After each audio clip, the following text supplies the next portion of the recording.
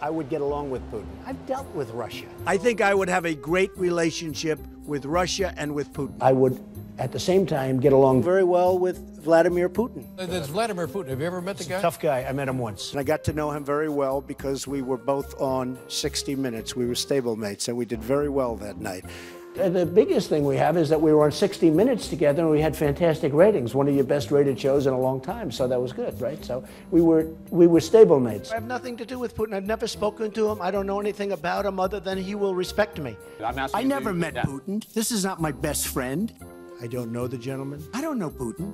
I have I'm no not idea. Well, I have no relationship with him other than he called me a genius. He said Donald Trump is a genius. I mean, they want me to refute his statement. How dare you say I'm brilliant? Then Putin said Donald Trump is a genius. He's going to be the next great leader of the United States. Guy calls you a genius. Is anybody going to disavow? We don't disavow. How dare? That's a. Who's going to do that? Do you respect Putin? I do respect. I don't love. I don't hate. We'll see how it works.